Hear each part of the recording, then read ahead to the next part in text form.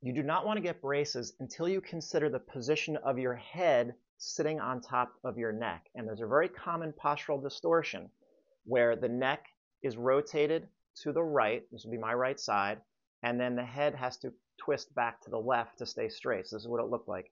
This is very normal in an asymmetrically designed human, especially as we get older. The younger you are, the less likely it's going to be a problem. But if you're considering getting braces or any type of oral cavity orthodontic treatment, you want to consider the position that your body is in first, your posture, because that posture of your lower body and then your neck and your head will influence the position that the dentist or orthodontist finds your jaw in, and it influences how the teeth are touching. So when people see an orthodontist or a, or a dentist to get their teeth straightened, the mispositioned teeth might simply be reflecting a body underneath it that is mispositioned. And then if you straighten the teeth on top of that body, it can be problematic because it locks you into this poor postural position, and now your body can start to hurt. And I have an interview with Frank Mallon from Philadelphia, from the Philadelphia area, who does a lot of integration with this discipline of postural restoration with dentistry, because a lot of his patients need that dentistry to help relocate their head on top of their body properly because they're being held in an inappropriate position because of what's going on inside of their oral cavity. Not all of his clients or patients get orthodontics. Some people just need a splint, and we're going to talk about that. It's a mandibular splint, like the picture, like this picture. I've made other videos about this, so if you're interested in this topic, there's other videos on my YouTube channel about this. Look at these pictures from me when I was young. This is exactly what happened to me. You can already see the asymmetry in my face as a youngster, and then in my teenage years, it just got worse and my head was sitting on top of my body in an awkward position. When they fixed those teeth and straightened those teeth, it just locked me into that position. And I've spent the past 12 years since I discovered postural restoration trying to unwind all of these issues. So in this discussion, we talk about the importance of molars and canines and jaw movement for your brain to understand where you are in space, which equals posture. We talk about pterygoid muscles. We talk about the relationship to the pelvic floor. We talk about a Parkinson's patient who whose symptoms immediately got better once he sensed his left molars again. We talk about the importance of getting the body neutral first. Get your body back to center and as stable as possible before starting any type of orthodontic treatment. And we, towards the end, we talk about the exact process that he goes through with patients uh, to understand how this whole process comes together. So if you're in, if you're interested in, it, I highly recommend watching the entire video. And when you see the difference that proper oral cavity integration can make on someone's stability and balance, it, mm-hmm. it's, shocking to me that you know that it's not considered part of the vestibular system, even though we know that everything is one thing right. and it can be separate from it. But still, it's treated completely differently.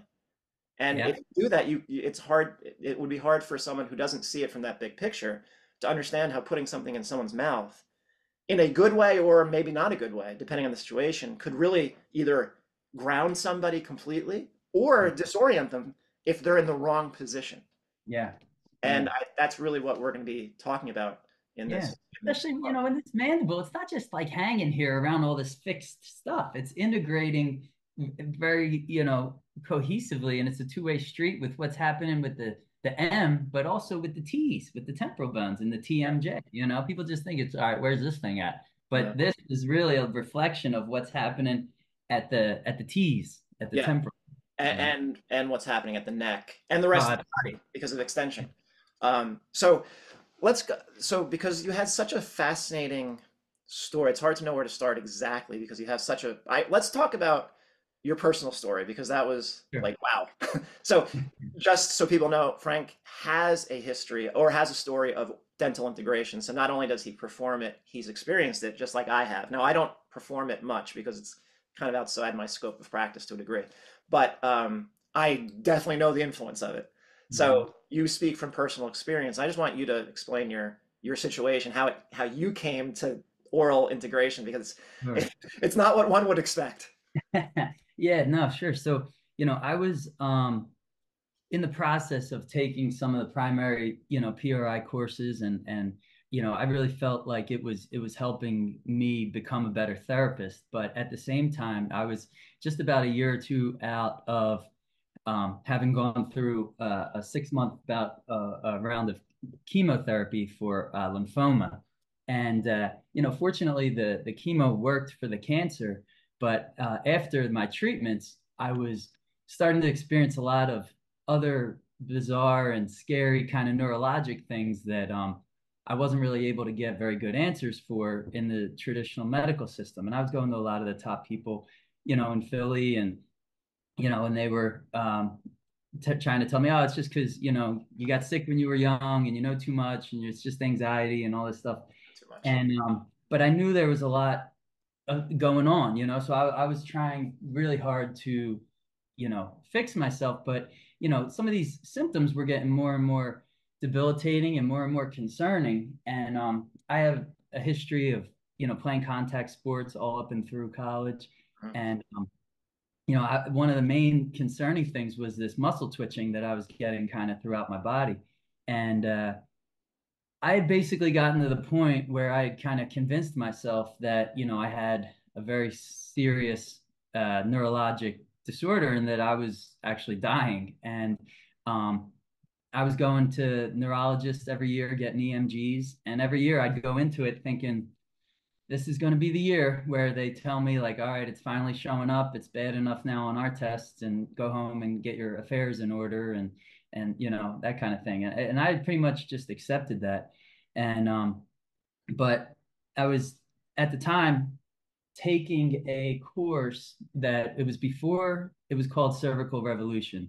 Um, it was the PRI dental course uh, before that, the TMCC course, and um, I was sitting in the front row, and I had never met Ron personally before, um, but was you know kind of fascinated by the course. And at the end of the first day, um, he there were some people that were eh, we learned a, a manual technique for the, the head, and the, there was a um, couple he let a couple people you know practice it on him so he could give them the feedback. Oh, and really? I oh, yeah and I actually still have I wish the, I could do that.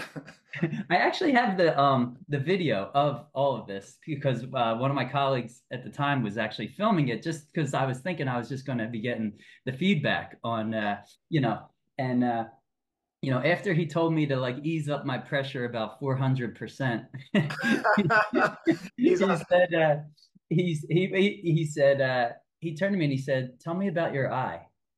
And I said, "What?" And he said, "Yeah, you have a left esotropic, you know, whatever." And I said, "Really?" And I and I didn't. I had never had an eye issue or problem, a visual thing, nothing at all. Um, I mean, I was color. I'm colorblind, but that was about it. You know, I could yeah. always see yeah. Clearly. You know, and so um, he, you know, so um, he said, "You probably have some health issues going on, don't you?" And he had no idea of what I was dealing with at the time and where I was at with things. And I kind of said, yeah, yeah, I do, you know? And um, so he gave me a couple of things to kind of investigate, but fast forward, you know, a couple months later, things had actually started to get even worse. And I found myself on a plane uh, out to Lincoln, Nebraska to get treated. And that really started to turn the corner for things for me. And, you know, when I put that splint in my mouth and um, had had those glasses on, and it was the first time I could feel my head turn, get that right cervical side bending, and I didn't even know that I'd never had it. You know. Um, yeah, you don't know.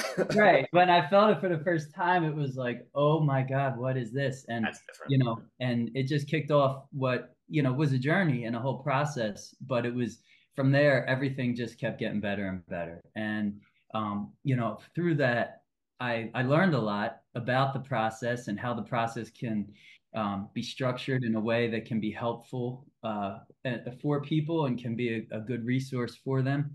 Mm-hmm. Um, and it helped me, you know, understand a lot about the patient experience, which um, I, I, needed to go through in order to be an effective provider with these kinds of, of methods. So, um, you know, I realized that, you know, um, you know, not everybody can get on a plane to go out to Nebraska, and even if they do, uh, it still requires a lot of, you know, management often in between. Follow you know, up. yeah. follow-ups. You know, the unfortunately, it's not like you just get the splint in the glasses and now uh, you, you don't have any problems. You know, if it's like it, now you have the tools to kind of kickstart the journey, basically, in a way where you're not going to be fighting your own neurology. Right. And so, right. Because I because I've made videos about this process before, mm-hmm. and you can see in the comments people say, "Hey, where can I buy one of those?" And right, I, right. you know, and I was like, "That's not what this is." Right. Like. I, I, try my best to explain that this is a legitimate process. This is not something you just pop in and everything goes away. I know it's still it's such an abstract subject, so I understand why right. people are like, "What do you mean? Can't I just put something in my mouth?" That's probably yeah. what you know. If I didn't know what I know, I'd probably think the same thing. But it is an actual process, mm-hmm. not only to get the orthotic, the splint, and we use mandibular splints um, because you need professional help to guide you through the process. Mm-hmm. Uh, because the dentist might know what they're doing and, and, like how to make it. But again, if the dentist doesn't already understand the point of view of posture restoration, yeah. why it's made a certain way, they could make it in their own way. Right. From a dental perspective, seems perfect from their dental perspective. Mm-hmm. This is exactly what this person needs based on what I see. Yes. But that might not be what the phys- what the PRI therapist wants it for. Right. And that has to that chat that communication has to be there. Yeah. Uh, otherwise, they could make the wrong type of device or splint that really doesn't help, or could kind of make things a little bit worse uh, in a way if it's made with in a with something that someone doesn't need more of. Right. Yeah, and when I work with dentists, you know, uh, um, to make these splints, uh, you know, I'm there when we take the bite registration, which is basically the way that the top and bottom teeth are positioned when your body's um, in an optimal state. Now, if, you were just in a, a, dental chair, in most cases, they're not going to have a, a uh, and it's no fault of their own, but they're not going to be able to appreciate the position of where your neck and your occiput and your C1 and your C2 and your temporal bones all are when they take this that, Yeah. Right. Yeah. Mm-hmm. Where where this back of the head, this occiput, yeah. is yeah. sitting on top of this atlas mm-hmm. and how it relates to the foramen magnum and the brainstem. Because we're really trying to center the head over the body again for someone right. who's assumed a generally a forward head type of position.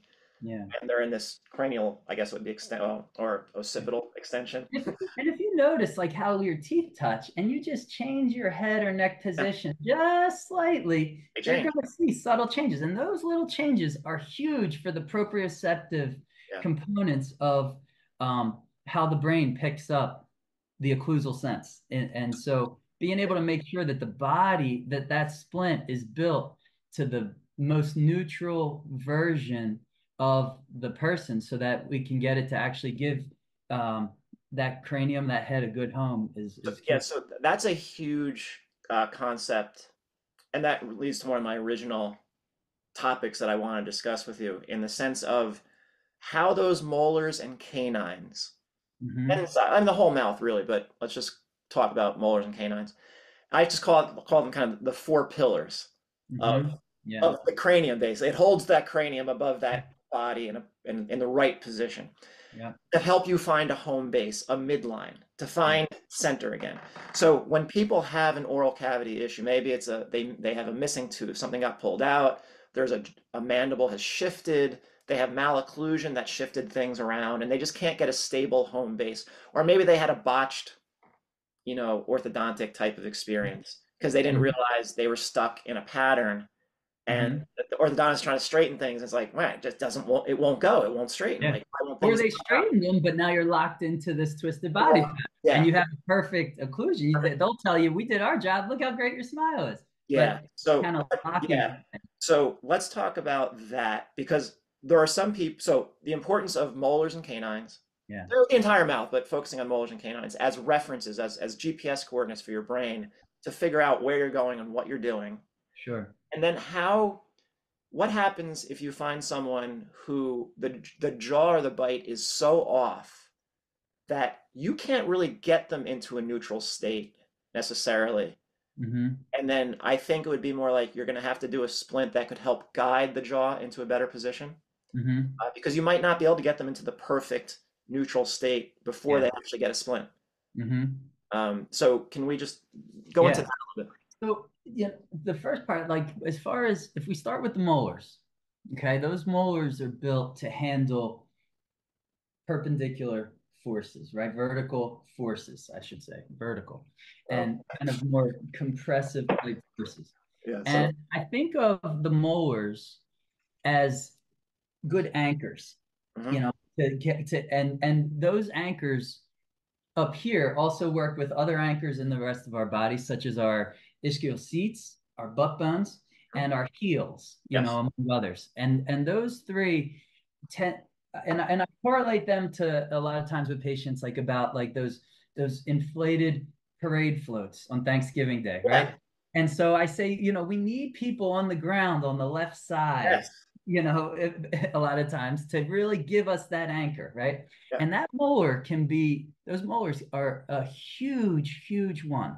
So if, and, and, and so that's where we want to make sure that we have a good starting position with the head on neck in an optimal position. Because if you have an anchor there, it's going to help with your ability to sense the ground, your ability to sense the, the floor, your ability to, to walk in a regulated way where you're actually optimizing the potential energy uh, and shift and tran uh, of your pelvis and rib cage. But so we we need those as a good even starting point. And if you feel one more than the other, you know, it's it's either going to cause your body to make a shift in order to try to maximize evenness there, um, or it's going to throw off the activity of your neck and how your body regulates its its tension. So, um, so we always got to start there. Can you feel your back teeth? Does it feel even on side to side? And can you do that from a balanced kind of neutral state? People say, "Oh, yeah, you know, I think I can get." Yeah, yeah, yeah, they have to really- like, well, that's not the same game, right? So let me just let me just um, point out for the listeners. Just think of it in this easy way to think about why this is important. Molars, sit bones, and heels, and let's just say hamstrings, are all in the back of your body. Right? You got a front and a back. If your back is not, if the back part of your body is not grounded with through all those senses, you're going to fall forward. And so just think of molars and how what's the connection between molars, heels, and hamstrings and, and ischial seats? Well, it's all in the back. and you need that foundation from the back. Otherwise, you fall forward into a forward head posture on mm-hmm. one or both sides. Yeah, yeah, and and then if we move to the canines, w- see, it's not it's it's not ideal for us to be locked into those back teeth all day as we walk around, but we need to be able to move our jaw off of this home and still maintain a sense of kind of where we are in space. Yeah. And so when we can appropriately and in a balanced way move off of our molars and move to one side and drop off the molar and feel a canine here and then same thing on the other side that's what gives our brain actually a good sense of a right pole and a left pole to understand where its midline is Mhm. so we we get a good sense of our midline by knowing where the borders of the right and the left are Right. and that'll help really and having a good sense of that among other things will really help regulate neck tension but if when we go off of our molars and we go to move now and and for this purposes of this discussion we're saying right and left for canines there's also a certain amount of protrusive balance that we need you Oh. know in order to and, and all of that helps us use our pterygoid muscles which also help us ensure that our temporal bones can maintain an optimal balanced position, which, as your listeners know, Neal, are the are the pelvic bones of the head. So as we as we can use those pterygoids in a balanced and proper way to get proprioceptive contact at the ideal times, that gives our brain a good sense of center. Shuts off our neck muscles and it, from having to work too much as stabilizers. And if that's and if we're doing it from a good home base uh, a, a pri therapist who's looking at this is going to ensure that your occiput or your head or cranium on your on your atlas on c1 is in a good place to preserve optimal space around that brain stem and in that area. So it's really a, and and and if when we go off and to to move off of those molars, even if we have them, and we don't get those canines, or we get maybe a premolar behind it, or we get you know something in the front too much too soon, and we, we don't quite get a true sense of that, then the brain gets confused, yeah. and that will significantly increase neck tension and it'll increase our position in order to try to maintain a true sense of where things are in space but it comes at a consequence and it shifts our brain sense of the midline. Yes. Okay cool. Um, and i remember just from personal experience when i was still kind of torqued well no mm-hmm. i wasn't kind of i was. I remember uh, when i was in massage therapy school and i always tell people i went to massage therapy school for one reason for one muscle and one muscle only the subclavius. so, oh, wow. Because I knew it was so common, and yeah. I'm not a physical therapist, so legally I needed to be able to touch people without, you know, fear.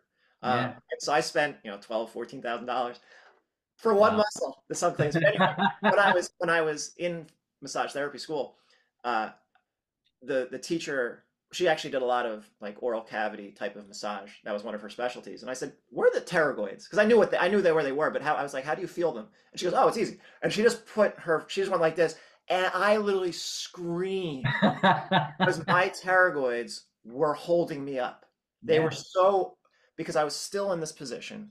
Mm-hmm. I had lost posterior stability because I still, again, my right hamstring didn't come online until this year, which is crazy. But you know, I was so far forward that mm-hmm. these pterygoids were way overworking and my mandibular elevators were yeah. probably overworking, which were probably also causing the tension. But I remember Ron saying one point, like, you know, uh, posture starts at the pterygoids. It's like, yeah.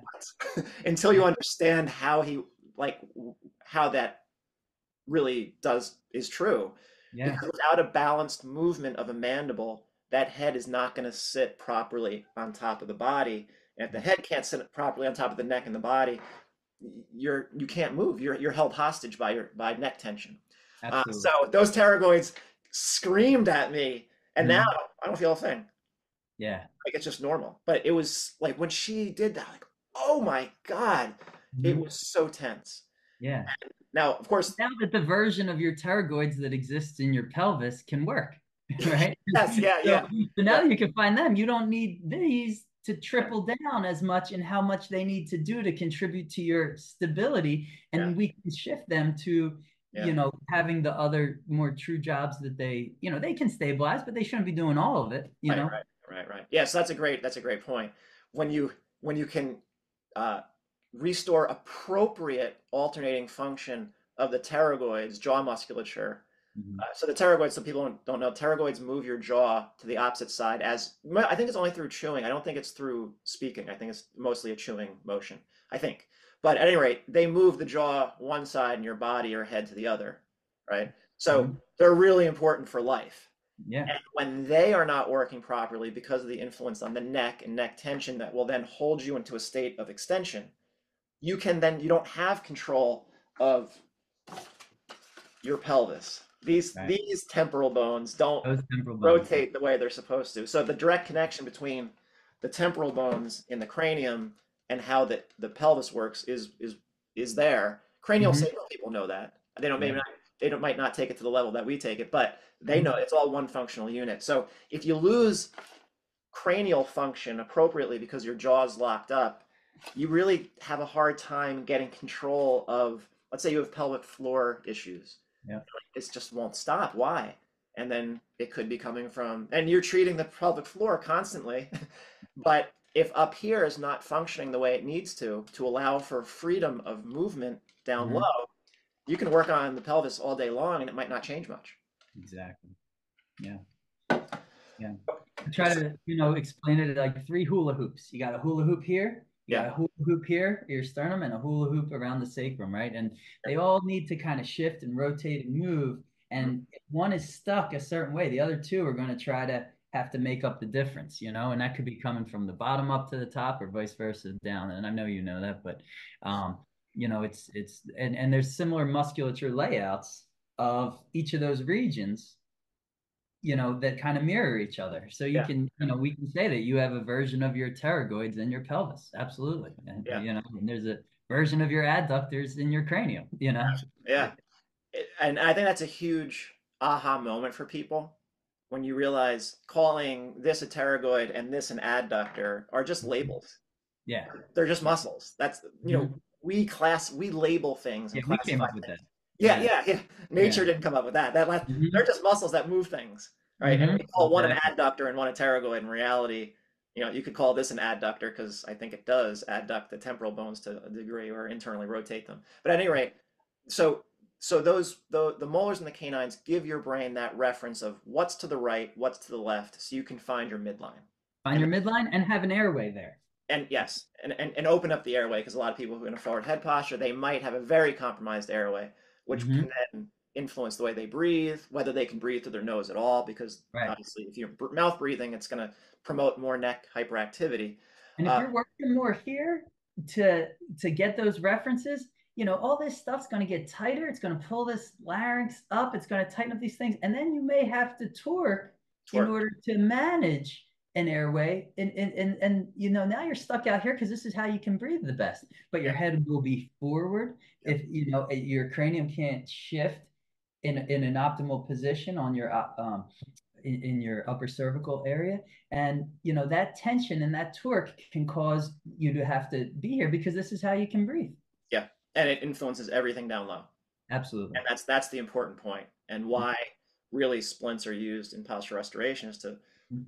For people who are not necessarily completely dental patients, like they might not need anything other than a splint because they Right. just somehow through normal patterning yes normal overuse. It could be someone who pitched too much with the right arm. They just Mhm. developed a lot of right neck tension and it Mhm. started to shift their jaw just a little bit. Or maybe it just gave them a little bit of too much uh, ref, uh, you know, canine contact that their brain seized upon as the right position to be in.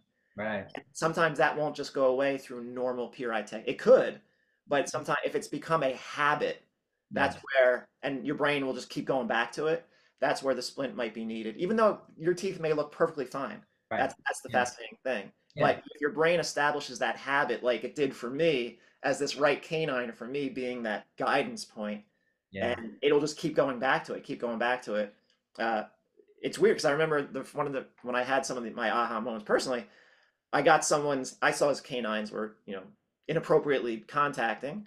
We got mm. him you know through some techniques. We got him neutral. I was like don't let your teeth touch. Don't let your teeth touch. Lie down. All his range of motion was there. I have his head in my hands. I'm side bending his neck showing how much side bending he has. And i said okay let your teeth touch. And once his teeth touched that neck just yeah. it's, complete- it's in my hands. I'm like, and he was like, oh my God, like, why mm. does it move anymore? I'm like, that's the reason. Yeah And he actually ended up going out to, to Lincoln.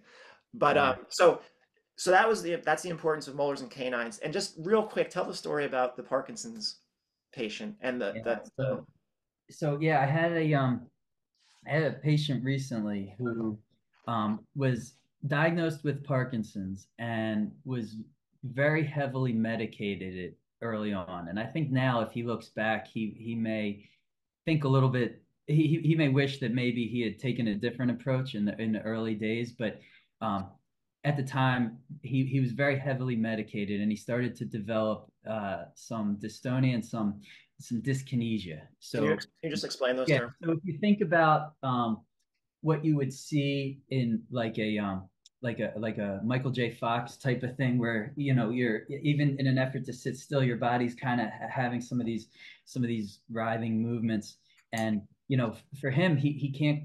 It's very difficult for him to sit still. Um, it's very difficult for him to breathe and talk at the same time because of some of the muscle tonicity around his his his psoas particularly and his diaphragm and some days are better than others and he has a um a brain stimulator so he's always regulating that as far as turn it up turn it down a little bit playing with the timing with meds and um and you know for him and his wife it is a 24 7 management of this and you know god bless them both because um you know they they've really just they're just a remarkable couple and um you know they've taken such a uh, a proactive approach but this is i mean he was a he was a a surgeon. He's now on, or, or I'm sorry, physician. Um, he's now unable to work, and um, you know their life revolves around where he is. You know, in uh, uh, if it's a good day, if it's a bad day, what his meds are, the timing, and all that. So he came to me, and you know was having more issues in the past couple of months and one thing that we always i always make sure of is that i i need to take a thorough history of you know someone's situation and all of the issues in their medical history. I'll tell me i'll say tell me everything even stuff you think could not be related right? Right Just- right right right right, right. just you know g- give it to me all. So um in the process you know we uncovered that you know his symptoms seemed to worsen in the three months leading up to when he saw me which correlated pretty directly with around the time he had a molar a left molar removed. And that um you know so you know he he was pretty much already on board with the the dental piece. He kind of suspected that that was Okay. somehow related. And so you know we got him set up right away. And the night that we delivered his splint we met at the dental office and he came in. He was having a really bad day to the point where you know i had the table set up and he was really having trouble um you know controlling the dyskinesia and his so his body was you know very much oscillating and and and so when we tried to deliver the splint i was literally he was laying on his back with his knees bent up feet on the table and i was literally holding his his leg down his heel down into the table. So if we come back to molars heels i was having to hold his heel down into the table through his knee um, just so he could get some some amount of stillness for the dentist to get his his splint in and, and we could balance it. And as soon as that splint went in, and he could make he could feel some contact back there that he hadn't felt in months, Mhm. whole system just completely relaxed. He could take a breath because now his psoas was not so locked on, Yeah. which digitates with the diaphragm. So Diaphragm, now yeah. that that got some inhibition, he felt like oh, and he was not in a in a in a in a contracted ventilatory state. He could he could take a breath. He he now he couldn't even lay down on the table without assistance. We put that thing in. He hopped up, no problem, stood up and walked down the hall. It was like almost like no no problem, you know. So um and that splint is working really well for him now. I think he almost rarely takes it out. Um he and he still is dealing with issues, you Yeah. know, He has Parkinson's, right? but but that significantly shrunk the nature of the issues that were affecting his life just by having that contact there. It was no magic in anything. No, it was giving him back some proprioceptive sense for his brain on that side of his body so he could ground himself, get a couple more guys down on the ground holding that parade float. Yeah. Yeah. So so that he could then feel the ground and compress into it so that he could then shut off a lot of those muscles that pull him up off the ground that weren't able to understand how to not work Right. before that, you know? Yeah. So Yeah, I used to Um, always I used to always use not the parade float, but I would just say hot air balloons. yeah, Like, when they're being inflated, they have to be grappled Yeah, as that fire, hot air is being pushed into the, the balloon. And if you let one side go, maybe because they're not strong enough on that left side, it'll go to the right. exactly. So I always use the grapple, the left abs, the left internal Yeah. obliques as being the the grapple to hold that air or to hold that that rib cage appropriately Mhm. rounded when you take a breath in so the air just doesn't just go right up the left side and push you back to your right side.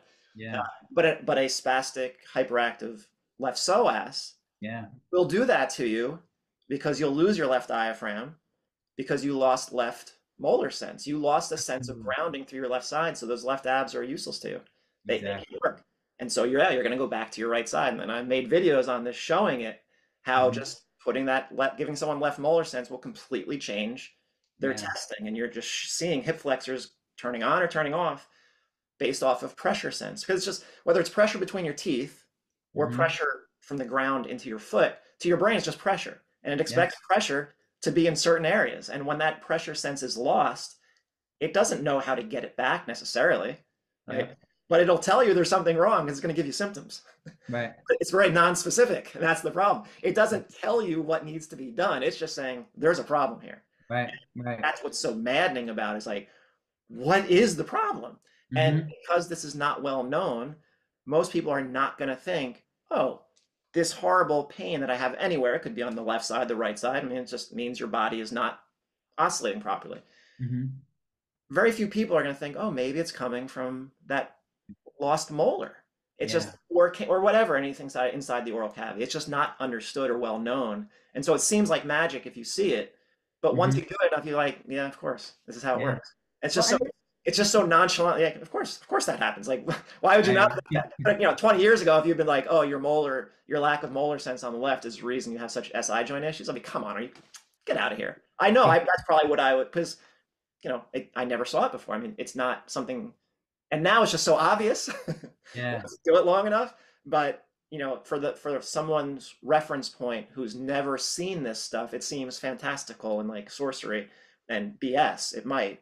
Um, Right. It's not. It's just pressure regulation inside the body. Yeah, and there's, you know, there's there's the ability to regulate that pressure based on the awareness of that side existing, you know. So, you know, there's you know, there's something like 5,000 nerve endings per square millimeter Mm. in the periodontal ligaments, which mean which is why when you get a when you get a seed, a sesame seed stuck in your teeth, You know it. it drives you nuts, right? You know, or or like a little hair in there it drives you crazy. There's nowhere else on our body that's that sensitive. Yeah. You know, and so as humans, we could have evolved through time without just gnawing through meat. You know, that but the teeth have such a other such an additional value to our body's overall sense of being that includes spacing the oral cavity and helping that head get where it needs to be and then also the proprioceptive piece of it so it's it, a lot of times it's just oh when your brain goes oh there's all those nerve endings okay now we understand how to that that side exists Yeah. so our sense of space isn't our midline is here because we think it's right right and left or right like this you know it's like oh this is here oh well then we can There's- go here Return home. this Yeah. doesn't have to work to try to manage an airway from a twisted body position underneath it. So it's largely proprioceptive. And and, you know it's funny that some of the dentists i work with that i'm on site with when the when people stand up and walk down the halls and uh, things just shoulders even out and pelvis is level and they can feel the ground they're like frank what are you doing? What is, is this like they think that like is this sorcery like what is you know and i'm like no. And, and i explained to them exactly what you just said about the the pressure piece and the proprioceptive piece and, and all that. And um so it, it's really cool to see the changes but you're right it's not common um Knowledge.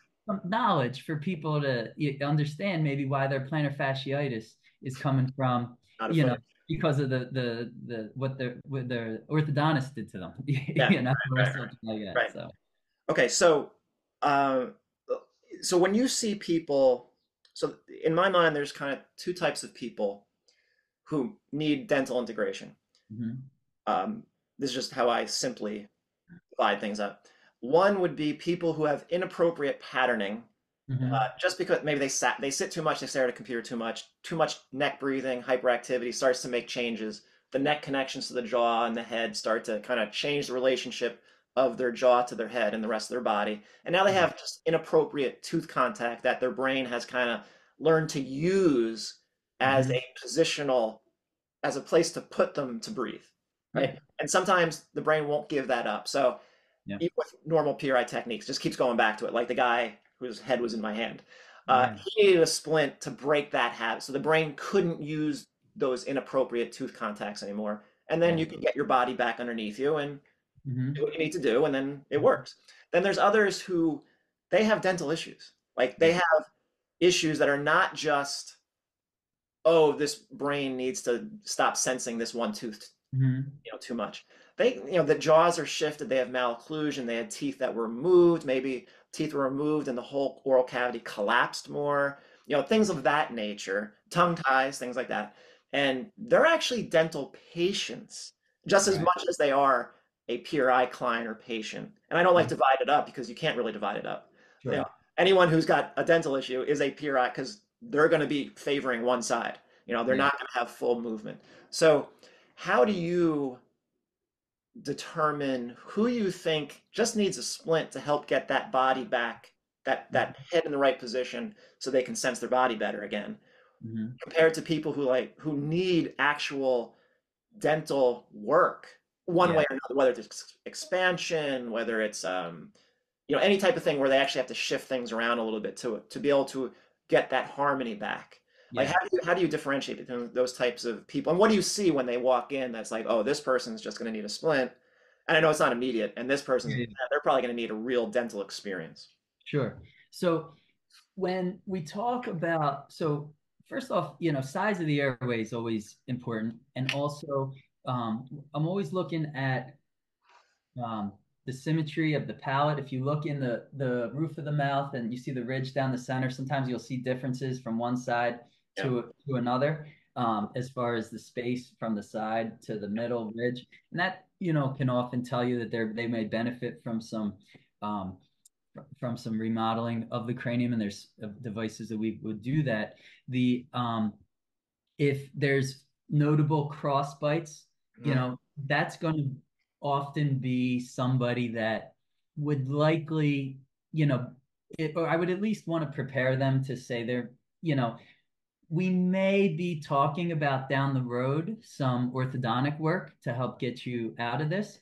Um, it's not to say we have to, because for some people, we might be able to get them good enough um, to their standard by just with the splint that gets them out of the crossbite. And they say you know what? I'm kind of good enough. As long as i sleep with this thing every night wear it when i work out i'm kind of all right and i don't want to go through that whole orthodontic process And that's okay.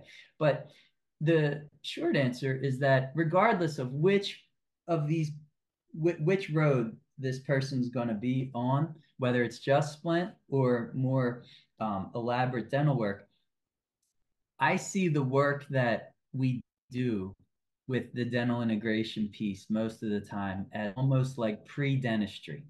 So mm-hmm. even so whether we're just dealing with a splint to help repattern your body to take away your shoulder pain or you know whatever it is, that's that's cool. But also if we're also going to have to go down this journey of balancing out cranial position and moving teeth and all of that, it's going to be important that all of that work is done on a neutral body and neck anyway.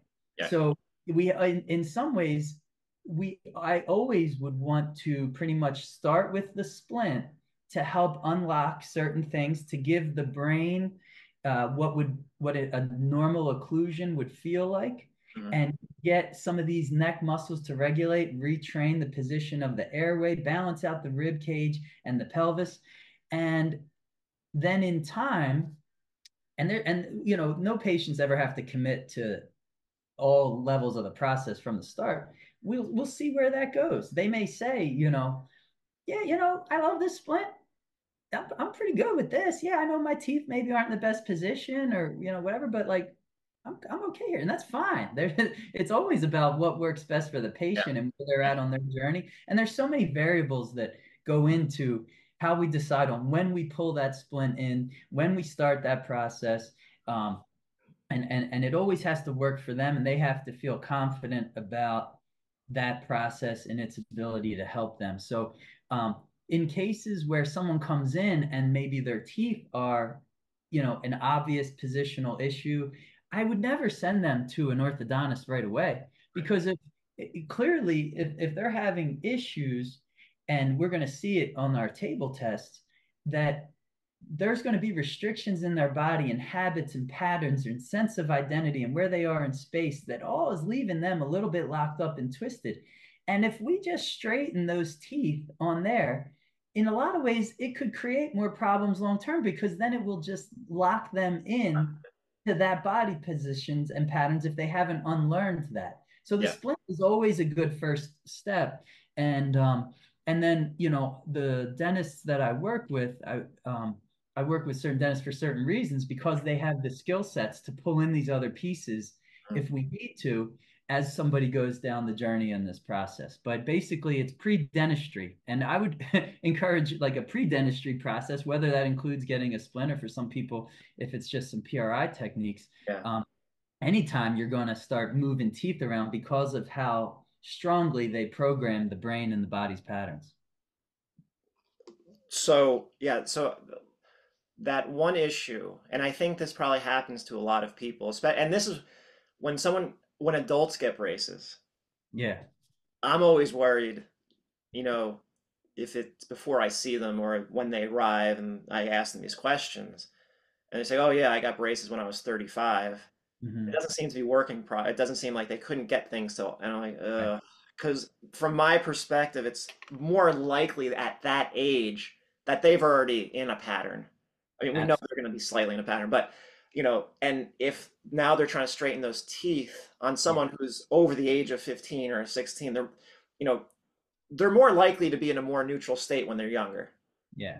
And yeah. then once you get older and older, more likely when you find like, man, my teeth have moved, let's straighten them again. Well, it's probably because the body underneath it moved exactly. and now mispositioned the head on top of that jaw or mis- mispositioned the jaw underneath the head. And now that's why they're getting these malocclusions, or maybe they start to use their tongue to push things because again, but still it's the body underneath it that changed. Exactly. changed up here. And now they straighten it, not realizing it's their body that got mispositioned. And now it actually just locks them in. Mm-hmm. Or they're like, yeah, I'm on my third round of Invisalign. I can't they can't figure out why things aren't, mm-hmm. aren't working properly. Yeah. And or they see a midline that's completely shifted one direction or another and they don't even ask about it. They just let we'll just straighten them again. Yeah, or they're in some retainers and yeah. they're like every morning when I wake up, oh my neck, you know. It's like, yeah. well, let's see what happens when we put these retainers in, you know, especially yeah. that top one. And uh, so yeah, yeah, no, the the teeth are often the passengers. Uh, and they kind of go places based on the pressures and positions of everything around it, like you just described. You know, so if if we're if we're seeing that the teeth, the tooth itself is moving. Uh, the last thing I'm worried about is the tooth. That's just telling me about what's happening right. around right. me, right? So it's like we know we're not, we don't have balanced pressures, and that could be through the nasopharynx, it could be through the the the, the throat, the larynx, the pelvis, the rib cage, whatever it is. Mm-hmm. Um, so we have to balance those those pressure gradients, and then we tell the orthodontist or the dentist, like, okay, straighten these teeth on this system, you know. And I and I was in braces as an adult, but it was only after a, a, a process of this pre-dentistry where I was in, you know, splints and you know, and some ALFs and, and all that. And and you know, yeah, I did have to straighten my teeth because of some occlusal issues that were always holding up the show. But it was after uh, a process of that pre-dentistry. Mm. So, so then my last question would be: This has all been good. Um, how do you prepare people? Uh, yeah. Uh, like you, you're pretty sure this person has a, you know, they, they have a crossbite, they have an open bite of some type. How effective? Because sometimes it, it, these techniques might are not going to be wholly effective. PRI mm-hmm. techniques, exercises mm-hmm. techniques, may not be wholly effective until they get their appropriate senses back. Mm-hmm. Um, so in that situation, they might not be able to hip shift to the left mm-hmm. and get their pelvis oriented to the left and their entire body centered over their left side to really get their body underneath them because up here still is not allowing it. Yeah. So how at what point do you say, all right, there's nothing else we can really do with these techniques. We've gotten as far as we can. Like how do you and then say, you know, the only way I can do my work further mm-hmm. really resolve the pattern because I, I think another thing people don't understand about posture restoration is and especially now because I think it's sometimes misrepresented, it's not trying to treat a specific pain. It's right. trying to inhibit overuse mm-hmm. of a mm-hmm. pattern of activity that your brain has become fundamentally dependent upon. Yeah, it's establishing harmony. Yeah, we're trying to establish harmony through yeah. rhythm. Through rhythm, baby. yeah. So and and side to side chewing is rhythmic. Yeah. So that's why you know to your brain it's just pressure here, pressure here, and that is no different than walking. Pressure. As you're here. doing that, your temporal bones are doing yeah. this. Right, and everything's rotating. And once you lose that rotation, that's when we start to hurt and we strain to try to keep moving without appropriate rotation. Yeah. Um, so, you know, some people with when into, they're not going to be able to rotate. They're not going to be able to get their body, you know, Mhm. to that left side to even begin the process. So, at what point do you say, all right, look, I don't think these techniques are going to do much further good for you, or at Mhm. all, because they might not. I mean, they're not going to hurt necessarily, but they might not be providing any type of real benefit because their body just can't get to the position it needs to be in to make Sure. use of these techniques. So, at what point, how do you determine at what point you're like, look, I can't do my work anymore because I can't get you past this point Right. without putting something between those teeth? Sure. So, you know, ev- ev- every time I work with a- any patient in, in any session, I'm always trying to figure out how can we get this person's body to do more with them having to do less, you know, so that they don't have so much stuff to do because all this stuff, this harmony, this rhythmic stuff, at the end of the day, it all needs to happen unconsciously. Yeah. You know, and so and when we're patterning, matching breathing with these positions and techniques, it's really to just establish an unconscious ability to maintain this harmony. Hmm. So, you know, early on, I'm always investigating the influences of their occlusion, um, their vision, their footwear, all, all these things that significantly program us, right? And so, um, I'm oh, I'm never going to just ask somebody to sign up for this process based on a hunch, you know. Right, right, I got a feeling because uh, there have been times where um, I've tested somebody by putting something different in their mouth, and I would have bet my house that it was going to change the game, and it didn't. So that's not somebody that I'm going to say, "Oh, we got to go do this dental process with." So Right, right, I right. have to have supportive evidence that the way that their jaw is aligned and that their teeth are touching is related to the issues that they're coming to see me for. And Well, you know, sometimes I say, all right, because I'm I'm thinking, all right, is this? Let me just experiment here, and I Mhm. do I do manipulate their bite, and nothing changes. And actually, in my mind, I'm like, oh, excellent, because it means I can possibly rule that out. Yeah. Because it's not a simple process, right, and it could be they might just have the wrong shoes right, at that point, even though their shoes might look fine. I had a guy recently, just to interject, yeah, uh, and he because he was going through dental work. He Mhm. had the ALF at some point, and he was in Invisalign when he came in to see me. I'm like, all right, we'll see what happens. yeah, yeah. And you know, his te- he was, you know, his pelvis was forward on both sides. I'm like, Mhm. oh no, and and uh, so he looked like he had the right shoes. Like his they were from the PRI shoe list. Yeah, yeah. And um, so I'm testing them, and I wasn't specifically thinking about the shoes at that point in time, but I noticed there were some things that weren't working properly. So uh, we did a couple things, nothing really changed. I put something between his teeth, and nothing changed. So like, all right, well, that's actually good. And then I went to the shoes, and I just I had him take the shoes off, or no, I had him walk, and I said, all right, what do you feel? I explained the heel arch big toe situation. Mhm. And he said, well, he, so I walked and he paid attention and he said, I feel my heel and I feel my toes. I said, what about the arch? I don't feel that. All right, so great. I just literally took out the insoles and had him walk again. He's like, oh, now I feel it. Put him back on the table and he was neutral. So. I realized his he thought he had a high arch. And I looked at his arch. He does not have a high arch. So his arches were probably his insoles were probably too high for him and were Yeah. pushing him into the outside borders of his foot, which go. tipped his pelvis forward. But that was relieving because with his history of a lot of neck issues and the history of dental, I was like, oh no, is he in this position where they were Right. doing inappropriate dental work? It turns out they weren't. It was actually beneficial.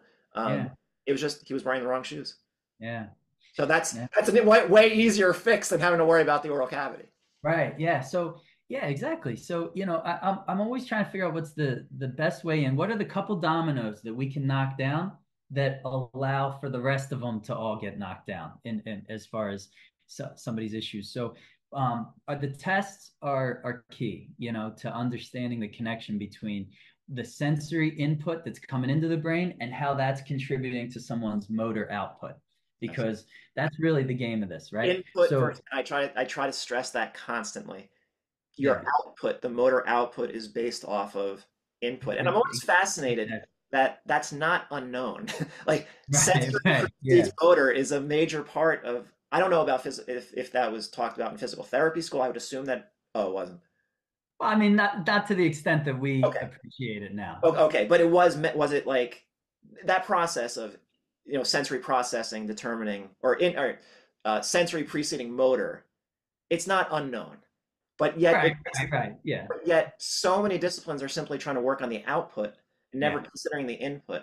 And Exactly. you know, even in PRI, if you only think about, hey, we're going to do a left hamstring exercise, you're Yeah. actually missing the boat. Yeah. I can't tell you how many times I tell people to say, look, we're going to do this right now, but I don't want you to do stuff. I want you to feel stuff. feel stuff. And then you'll and then you'll be able to do stuff. Yeah, But we gotta right. get you to feel stuff in order to do stuff. Don't Right. just try to do stuff. Right. I, the analogy I always use is like if you ever played sports, coaches would always say, you know, let the game come to you. Don't don't force. Yeah. Yeah. Same thing. exactly. So that's what I tell when I people are I'm having someone do a technique. I, I always say, look, you're going to use these sensory GPS coordinates Mhm. to allow your brain let the muscle come to you. Right. And if it can't come to you, you're going to use your pattern to Yeah. try to go get it. And that's going to make life a little- Tension goes up. to be- we're going to be fighting your own neurology. Yeah, and for some people, I have to explain to them, look, like this is what makes you great. It's what makes you successful at your job. It's an admirable quality. but, but we gotta certain situations. Yeah, but it comes at an expense sometimes, you know. So so I'm always using um, the test to to help guide our decision making. And for some people, even though we know early on there's a bite component, Mhm. doesn't always mean they need a splint on day one. So there's different ways in which we'll try to get around it. We'll try to give them certain things to do certain techniques. Sometimes, as you know, if you'll, you know, we may be able to, if someone can't feel their left molar, if we do a technique that they can do and they can replicate at home and then they can feel it and then they and Right. then that changes the post, it's like, okay, cool. Maybe we don't need the splint, you know? So I try to ride that out as long as possible. Right. Um, until we're clearly hitting a wall, you know, and you know, I'm and so when it becomes obvious to say, look, I'm I'm I'm not helping you in any way, um, then I may get a little bit more uh aggressive is not the word, but a little bit, you know, more. Uh, there might be more of a lobbying effort to say, look, I really Yeah. think this can be helpful for you, not because you have problems, but your body's compensating in the way it's supposed to. It's actually very healthy. It's doing exactly what it's supposed to do in these conditions. It's not broken. It's not broken. We just need you to not have to be compensating around this issue as much. And we don't want to be fighting your own neurology in our attempt to kind of to kind of get things where um, it would be optimal for your system. So um, and there's a lot of variables that go into when somebody starts that process. Um, I had a, a woman, a patient who not that long ago, um, she came in and she had a lot of issues and she was dealing with a lot of stuff. She was a retired nurse and she told me day one, you're not touching my teeth. She said, I went through hell with the, this orthodontic work that I had, I don't know, 15 years ago or whatever it was. And she said, you're not touching these teeth. And I knew, you know, uh, uh, early on that it was strongly uh, relevant but there were other low-hanging fruit. So she also had a monovision LASIK correction, and um, she has scoliosis. Not surprising. Um, also, a lot of autonomic issues and and all that. So we got her in a pair of shoes. She was willing to accept the fact that maybe she could wear some glasses, right? So we had a, a, a uh, postural visual session with my neurooptometrist. We got her in some better glasses, and as we started to shrink the onion, but she saw how persistent some of these other issues were. She finally said, "All right, let, tell me about this this dental thing that we could, you know." So, and she got on board, and and it wasn't long after we got the splint in, in addition to the other pieces, that um, her X-rays started to show that her scoliosis was reversing, and she's like 72 years old, you know. So. Um, it's a valuable piece, but if I had tried to push that splint on her too aggressively from the jump, Yeah. um, also these other issues, then you know I don't know how successful the process would have been. Or the first time she had a rough day um, after getting the splint, she Mm. probably would have said, "Ah, this ain't. It's not my teeth. I don't know what Right, right, right, right, right. Because it's not a straight right. Progress is never just. Right. It's not like hey, get the splint, everything's gonna be perfect. Right. It's, exactly. You're, you're, still going to have crappy days as your brain is adjusting to things and your body's adjusting to things. It's not. It's going to give us. Yeah. There, there's a, yeah. There's a process to it. Yeah. After you get the splint, and just just real quick, just so what are the two types of splint? Because in PRI, there's two two types of splints. Mm-hmm. Uh, can you describe the two different types and why one is preferred over the other, depending on the person? Sure.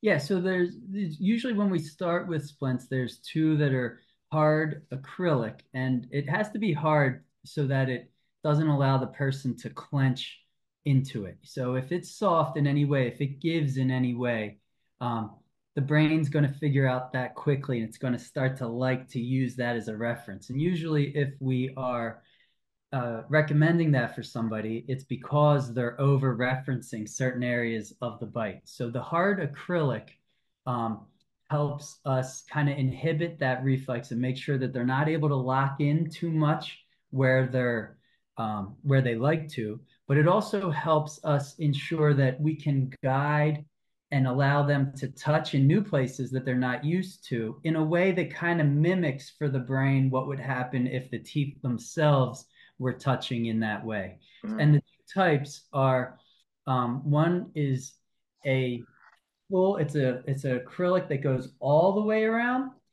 um, it's like a almost like if you think of like a, a mouth guard that you would wear when you were playing sports and you just kind of turn it upside down um, and it would go all the way around on your bottom teeth.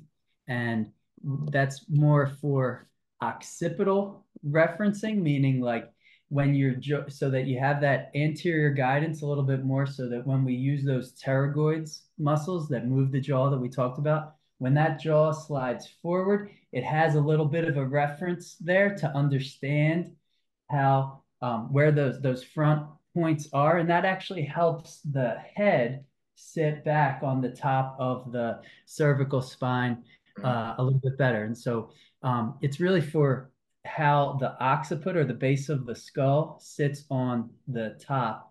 And then the other is one that tends to really just help with side to side referencing and help the body understand here's my left side, here's my right side. So if we talk about where that home was in the molars, yeah. they're mainly for molar referencing for people. Um, and really, it's kind of the same as the other one, the first one I just talked about, only it doesn't have that acrylic built all the way around the front. So it's almost like just a bar that kind of um, connects the two. So why wouldn't you want someone to have the full coverage? Why would you pick the one with just the more posterior coverage?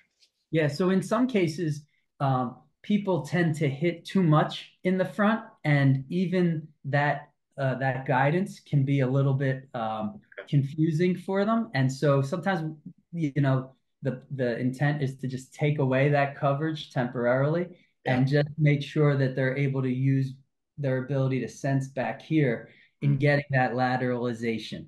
You know, okay. Um, okay. So that tends to be helpful for that, and um, and that's kind of the two the two main ones that we would we would okay. And so what what is the process once you decide someone's going to get it? Uh, yeah. What's the process of how it's made? Because that's there's a couple steps to it. Yeah. So um, the when we make a splint for somebody, we need to make that splint for their current. We need to make that splint based on with their head and neck in the optimal position. So when we do it, we can't just take scans of them sitting in a down chair, take some scans, send them to a lab. Oh, this is this, and, and send it back. So when I'm working with a dentist, we, I'm I'm on site for what's called the bite registration, and that there's the picture of the top teeth, there's the picture of the bottom teeth, but then the lab that's going to make it, they need to know, okay, I got my picture of the top, I got my picture of the bottom where do you want us to anticipate that these things touch together in the right. optimal place? And that's what really the bite registration is. Right. So when we take a bite registration, which is which is different than just the molds, like the taking the impressions. Is right. that that's a different? So they take impressions 1st mm-hmm. mm-hmm. just to get like to see what the teeth look like, basically. Right. Right. And then, they the sense and, of it. Yeah. and then the registration is where you're trying to find the best place for those two the upper and the lower to come together exactly and like we talked about earlier the position of where your head is and all slightly changes how those teeth touch so we yeah. got to tell the lab we want you to make this splint to this mouth in with and that's where I've ensured that the head and neck are in as good of a position as possible. So oftentimes I'm going to do some manual work. I'm often most likely holding the upper cervical spine and the head in a, an optimal position that we, we would call a, a, a neutral position where the occiput and the cervical spine are optimally positioned. The OA joints are where we want them. So you're trying to get this part in the right position, like the right the back of the head, the occiput's relationship to the the atlas, the cervical exactly. spine. You're trying to get that in the optimal uh, position mm-hmm. because there's a direct relationship between this occiput C1, C2, and the actual, uh, you know, uh, what do they call it? Occlusal plane. Yeah. So exactly. that's and that's why you want to try to get somebody into a, as much of a neutral position as possible. Exactly. Sticking a splint in someone's mouth, and this is why you can't just buy a splint and expect mm-hmm. it to work because right you don't just if you just stick stick something in someone's mouth who's like this, that's just kind of reinforcing what they're already in. Exactly. It's accommodating the dysfunction. Yeah. yeah. And so we would we would um we want to make sure that there's an optimal 30 degree cervical lordosis when we can get it. Um, so that that splint is made to replicate those conditions. And if someone's getting a splint, chances are their their normal is issues with maintaining and holding that neutral position there. So either they're living in a constant state of C2 rotation or mm-hmm. C1 rotation or whatever it is. And we're trying to neutralize that to say, okay, we want you to make that splint to this version of the patient that's going right. to set them up best for success. So I'm often holding the yeah. head, neck, and the cranial base, and even sometimes the position of the other bones in the head to make sure that it's right where we want it, that the body's in a relaxed parasympathetic state. And once we get it, then I'll usually like tell the dentist, like, okay, now we're ready. And then they'll come in and they'll they'll use their means to take the the in, the registration either with with goo or even sometimes once in a while with a digital scan. So okay. Is there a test like so if, if you're holding that head in the neutral position, mm-hmm. theoretically, would they not then pass shoulder internal rotation, some other test, like other tests you right. can do in that exact position just to make sure it's the right position? Yeah. So oftentimes what we'll do is when, well, I'll, I'll usually tell the patient, I'll say, don't let your teeth touch, you know, and we'll, and I'll say, all right, take a breath. I'll say, how do you feel? And they'll say, oh, that, you know, that feels good. Or, okay, fine. And when I tell the dentist, like, okay, we're ready, they'll come in and they'll use a little bit of the goo and they'll put it in there and we'll give it and I'll be holding while maybe it takes about 30, 40 seconds for it to kind of dry. And then once they say, okay, we're ready, I'll leave the goo in. And then I'll ask the patient to stand and walk and you know, we'll run, we'll run them through the tests okay, and okay. make sure that we've captured the most neutral right. version of them as possible.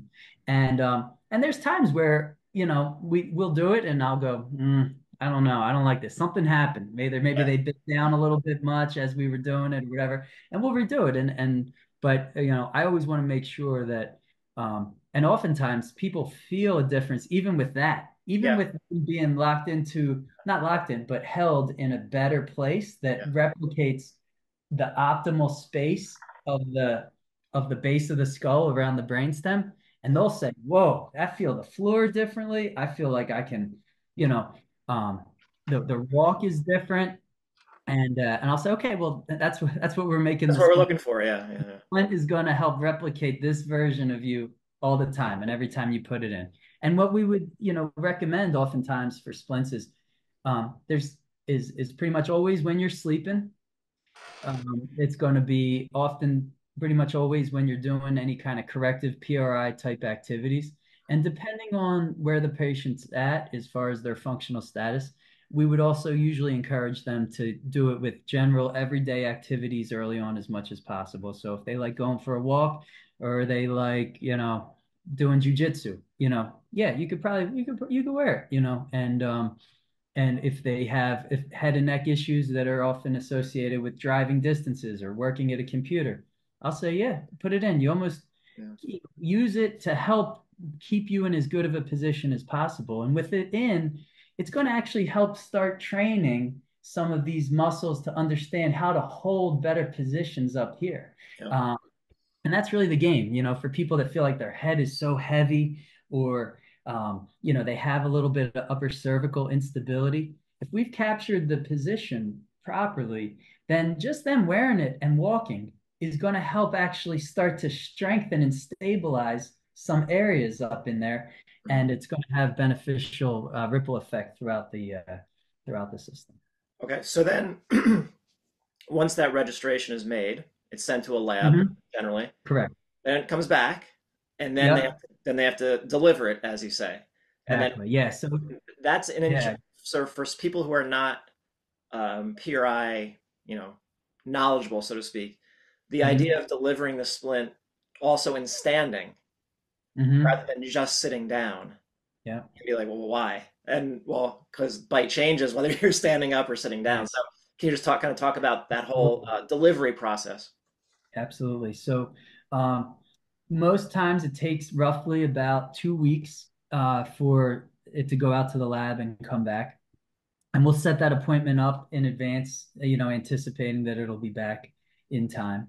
Um, and there's, um, you know, some of the dentists I work with, I'm on site with them like all day. We'll block out a whole day, and those are our like PRI splint days. So everybody on that day is coming in. They're either getting a splint or getting it adjusted, you know, and we'll we'll have that scheduled in advance. And when it comes back from the lab, we anticipate to take at least a good hour of balancing that splint because even though we've, we've even though we may have perfectly captured that bite registration, that's really only the home. That's really just the starting position, like we talked about.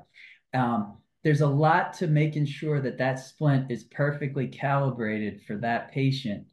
And that requires us to do a lot of testing and making sure that as they move and they shift, that they're hitting the proper teeth at the proper time and there's no interferences. So we have our home base, but then we want to make sure that when you move one way, that you feel the teeth specifically that we want and that um, you don't catch anything else. And that's a lot of the like, if anyone's gone through something similar, it's like tap, tap, tap, tap. We take it out.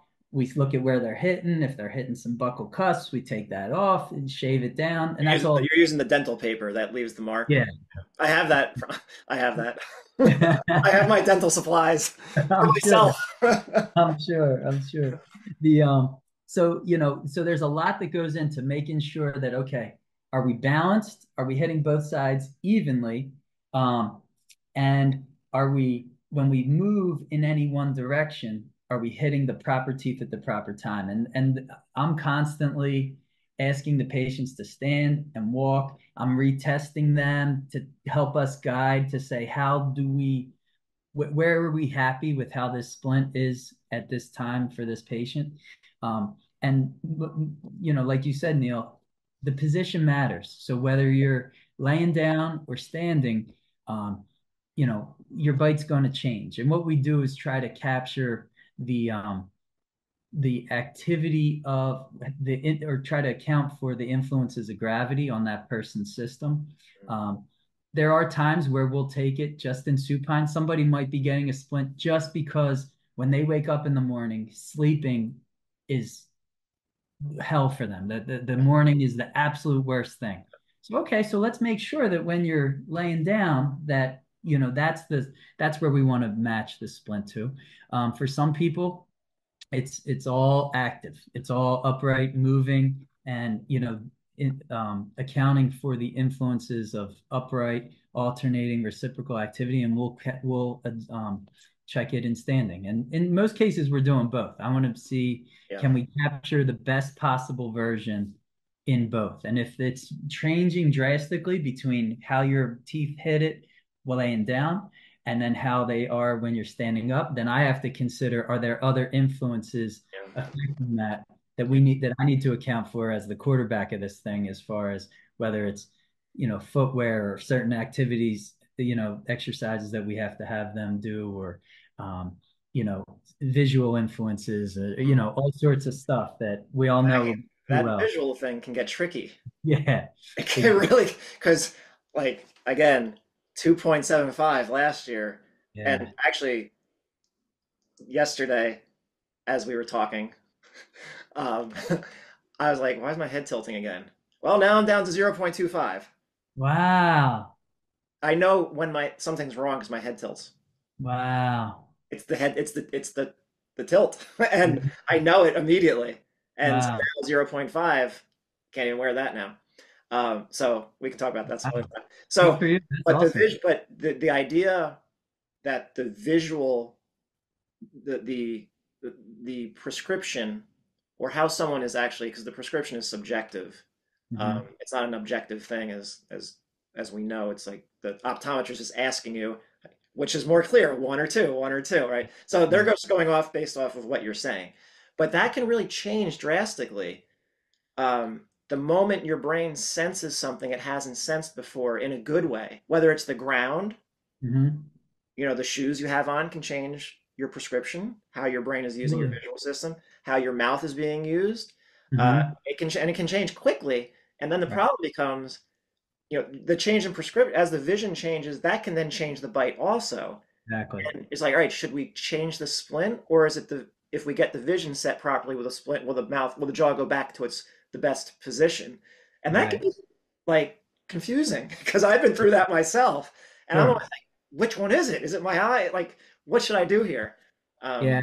In a lot of cases, it can certainly be like a little bit of like a stuck drawer in a bureau. You know, you go to one side, you wiggle it, and you gotta go to the other side. Yeah, and you, you know, and it, it's really, i- in my opinion, it's how the brain integrates the sense of both. You know, Yeah. when it gets to that point, it's really no one system's fault or department. Right, It's usually right. it's really this this the stomatognathic system. It's the system of systems up in there that you know, finding the right recipe and balance for all of them. And and I certainly have um and I, I do work with a neuro optometrist in the area and there's times where you know I'm seeing someone it's like all right well now we got to go do the vision piece to update it to this you know new bite or new to reality splint, Yeah. or you know or we got to now adjust the splint to these new glasses Yeah. and so being able to understand the right timing it's always a little bit different for for Yeah. um, many people but you know if there's a strong occlusal issue i tend to like this in most cases i'm not going to say in general or like across the board but um, it often i find is more efficient to start with the occlusal piece Mhm. because if we find a perfect prescription for someone visually but you know their their bite is unstable and that Yeah. there's and you know then that that that script that's perfect for them on Monday morning Mhm. might not even be good for them by Thursday afternoon if things are always shifting around in here. So if we have a if we have a splint that we can ensure gives our cranial base a better sense of stability, then I feel feel like oftentimes that allows us to then uh, attack the visual system or account for those issues in a way that's really addressing what their real average is, you Yeah. know. Yeah. Um, and so so that tends to be, but you know, I do have some.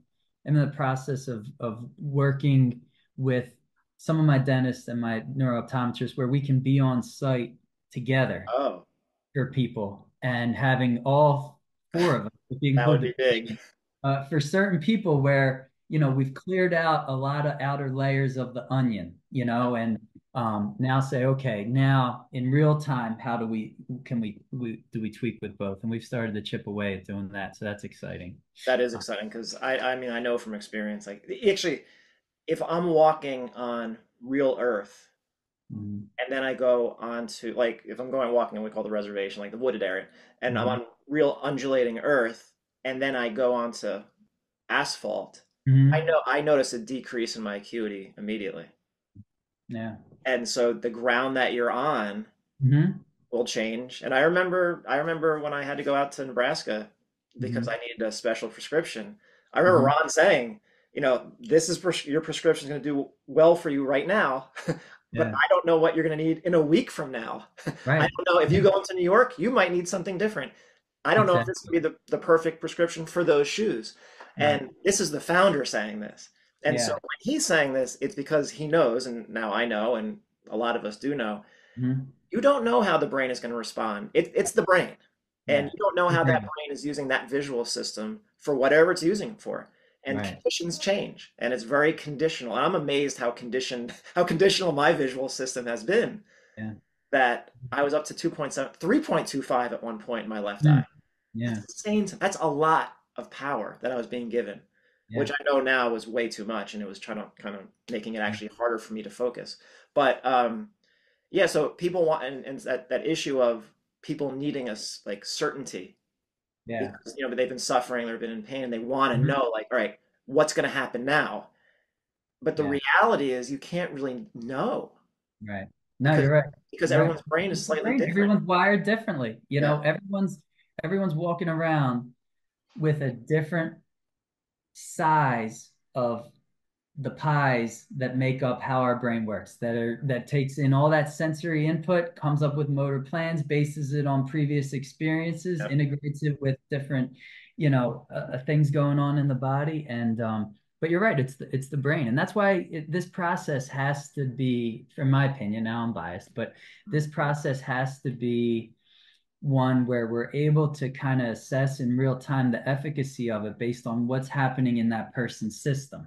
Absolutely. You know, because there's plenty of times where when we're building these splint, if we if we're just talking about the dental piece of it, that we're building the splint for who they are on that day, but also we're anticipating a little bit of who they're going to be three, four, yeah. five days from now after sleeping a few nights in this thing and all this. And we know where their body's going to want to go, and we know what kind of references they need, and we want to make sure that we give them the ability to have a little bit of improvement while not hitting too much too soon in one certain way.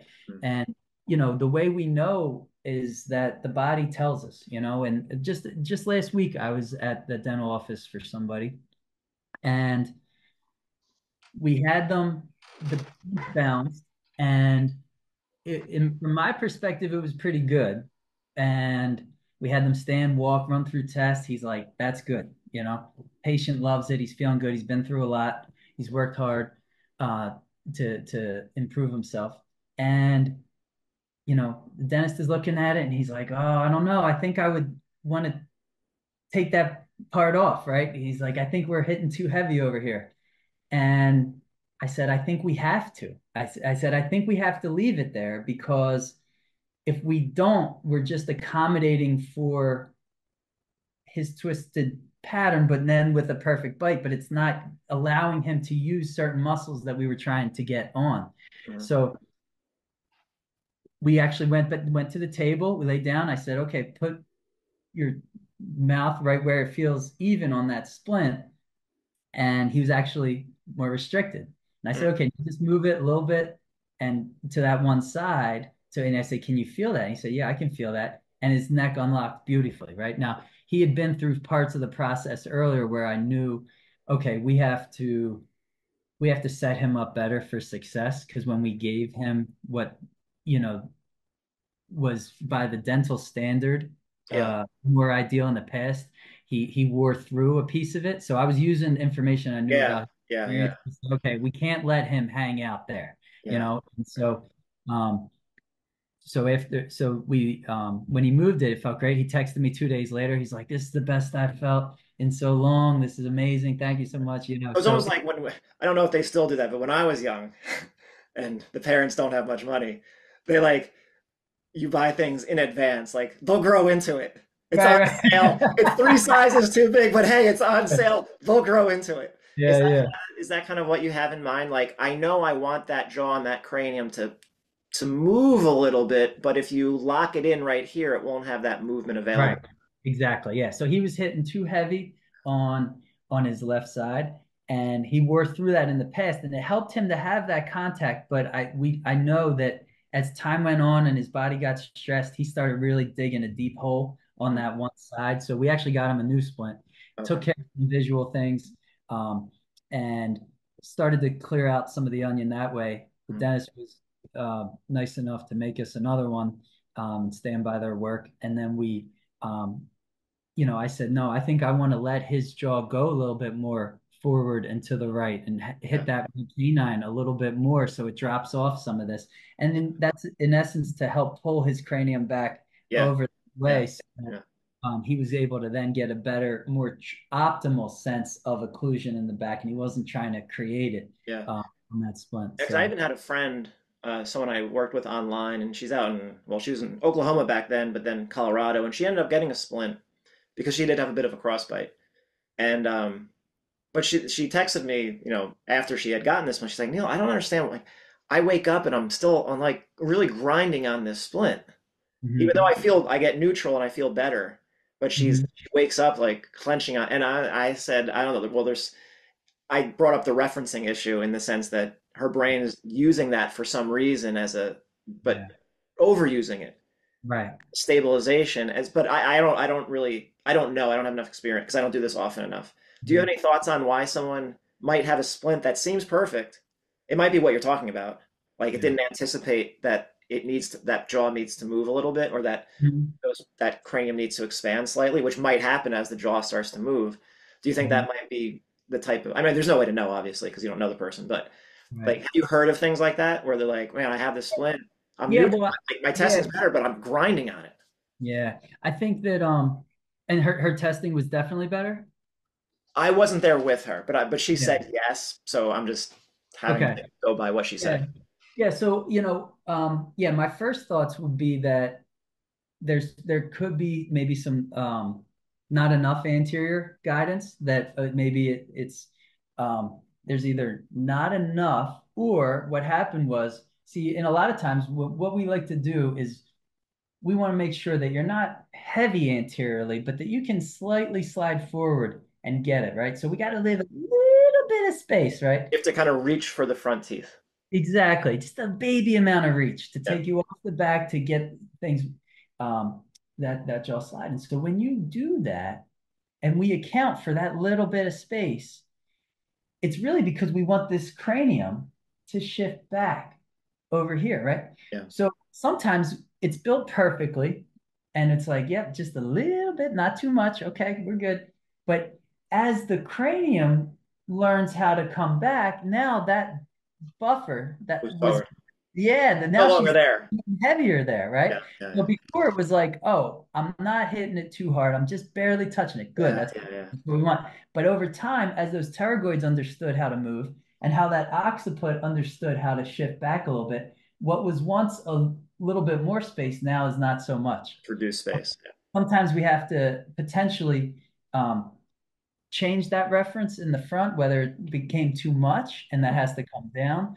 Um, or if maybe just over time she picked up like a little bit of a buccal cusp and she, her brain's kind of like locking into that sometimes on the back so um, and it could just be that if they got bored in they just kind of have to get smooth a little bit so that the jaw can slide and not set up shop in, in its home um, you know, but you know, I would think that there could be even just some airway issues that, or maybe the splint could be kind of thick. I don't know. There would be a lot of things that. Yeah, there's a lot of things, but yeah, but I've, I've heard things like that, and I'm like, I don't. I mean, I don't have the answer. You're not in front of me, so I don't. I, I can't really say. All right, so you get it delivered, and then generally the bite's going to change a bit. Right. Mm-hmm. And things change, and that has to be readjusted. And so, what's the expected process with that? Yeah. So um, with the uh, dentists that I work with, they kind of build into the price of the splint the anticipation that we're going to have to be back in that office mm-hmm. uh, periodically to adjust it. Um, I never want to over adjust it by any means, but I do feel like w- we have to ensure if, if the intent of this splint is to create a different version of that patient to help them understand how to use parts of their body differently, how to stabilize certain areas, improve the position of things. That has to change the bite, you know, because it all affects the bite. So the splint that is perfect for them on the day that they get it, um, as their body changes, which is what we want, are more lasting, permanent changes, then the, the, we're going to have to update the splint to um, to make sure that it's still hitting perfectly as their body shifts. So um, depending on the case, sometimes we'll plan in advance to say, you know what, we better be back here in about a month to adjust this. Or we'll say, you know what, um, if they're getting a splint and they're going through this process, um, it's it's um, relayed that you know this is a tool that helps the work we're doing to repattern your body. So the splint alone is not going to be the ch- change of the game. So we have to anticipate that I'm going to be meeting up with them periodically, mm-hmm. and you know I'm going to be checking to say, all right, is the splint still? Every time I see them, is the splint still hitting the way we were, or what are you feeling? And running through the tests, and sometimes um, we'll see that they'll come in and they're like, yeah, it's not hitting the same, but we'll run through a couple techniques and all of a sudden we get it back. It's like, okay, that yeah. that does not need to be adjusted. That just meant that the patient needed to be adjusted. Yeah, yeah, and so, um, but if we get them in, you know, a more ideal position from a PRI standpoint, and it's like, now nah, I'm still hitting heavy over here, and it's not replicating what it did on that um, that day in the office then with the dentist, then it's like, okay, now it's time to adjust the splint. So um, it's kind of case by case, but we tend to say, you know, it, it, we're probably back in the office maybe a couple of times after getting the splint. And each time, like I said, we have the days, we have appointments blocked out where it's just me, you, and the dentist for an hour, you know, and we're planning on making sure that that splint is perfectly calibrated for the best version of you on that time. Our tests tell us what you need. Um, we're always having you stand, walk, shift weight? How does that feel? Do you feel the ground? How do you feel the ground? Are you moving? We're watching what's happening in your gait. Are your is your arm swinging a little bit more? Is it swinging less? Are you keeping are you getting better hip extension? Is your weight shifting better? And we see we see changes in real time and um, that all of that helps guide our process which you know sometimes people will reach out to me and they'll say um, hey um, can you can you tell me a, de- a PRI dentist because I want to go get a splint and it's like, well, you know, uh, a, a, true PRI splint really uh, requires um, the team, you know, of of being able to kind of look at all the things like you were talking about. What happens when you lay down versus standing up, and what how this splint is built has to be to help move the needle for your overall health and your overall movement system and your overall ability to use both sides of your body.